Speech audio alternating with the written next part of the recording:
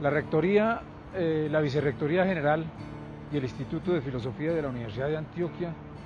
eh, están organizando una serie eh, de foros que hemos denominado los foros por la paz. Estos foros van a tener lugar a partir del primero de septiembre cada mes hasta febrero del próximo año y en marzo se va a realizar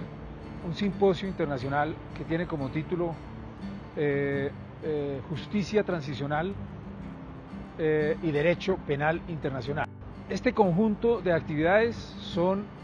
organizadas en primera instancia por el Instituto de Filosofía,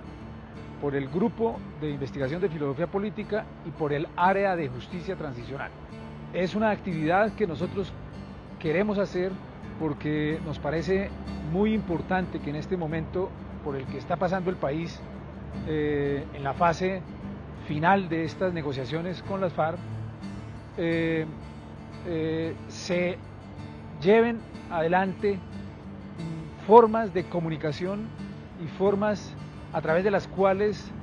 la ciudadanía pueda tener un mejor conocimiento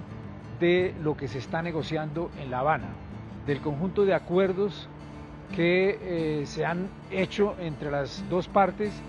y de eh, la naturaleza del proceso legitimador de todos estos acuerdos que es el plebiscito. Entonces estos foros tienen ante todo una función educativa y es muy importante que la Universidad de Antioquia se vincule a la sociedad con la organización de estas actividades de tal manera que eh, la universidad cumpla con su función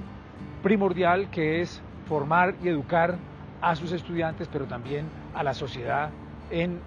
temas eh, tan importantes como este.